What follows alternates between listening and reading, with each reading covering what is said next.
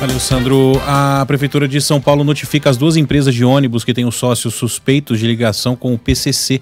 A partir de agora, a Upbus e a Transwolf eh, terão 15 dias para apresentar a defesa por irregularidades e falhas operacionais. Esses problemas foram apontados por auditorias realizadas pelos interventores que administram as duas companhias desde abril. A Upbus e a Transwolf foram alvos daquela operação, Operação Fim da Linha, que apura o envolvimento do crime organizado dentro do transporte coletivo. a notificação é o primeiro passo para que a gestão de Ricardo Nunes possa rescindir o contrato de concessão dessas linhas mantidas pelas duas empresas.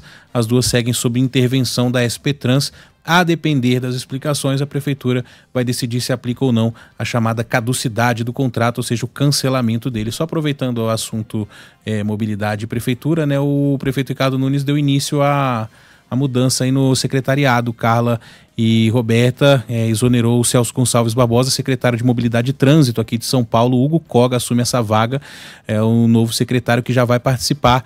E aí a gente vai falar disso mais para frente, da definição do valor da tarifa, né, que está congelado há alguns anos aqui em São Paulo, mas que pode já vir em janeiro é, com aumento né, no preço da passagem dos ônibus. É algo que se discute, se fala também, o prefeito já fazendo as primeiras movimentações depois da reeleição no secretariado.